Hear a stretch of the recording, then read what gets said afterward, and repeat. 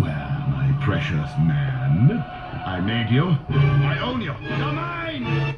And now I do! I turn the boy into a dog. Use him as bait to lure the dog man, and then I'll have the man and the dog! Ah, you're right on cue.